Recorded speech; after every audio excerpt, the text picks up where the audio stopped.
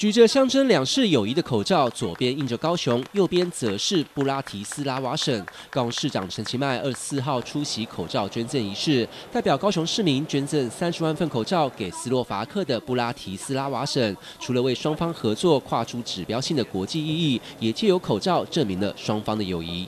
This mask is the proof of the friendship between Slovakia and Taiwan. This is the proof. Friendship between Kaohsiung City and Bratislava County.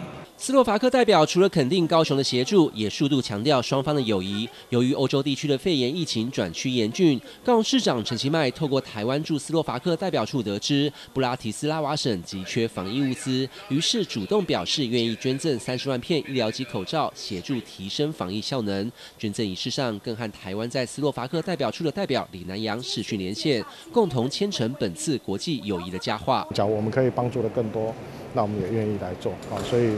就大概在三个礼拜之内，我们就啊，这个整个口罩的生产都完毕啊，那也即将啊会运送这些口罩到斯洛伐克。那那上面会有布拉提斯达巴跟高雄市的这个市会，哦，这个代表。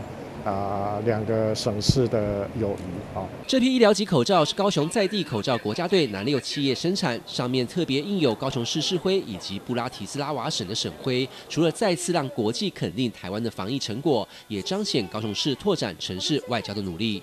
记者吴炳元高雄报道。我们也谢谢市长还有国代表，以及斯洛伐克的省长，还有我们再次洛伐。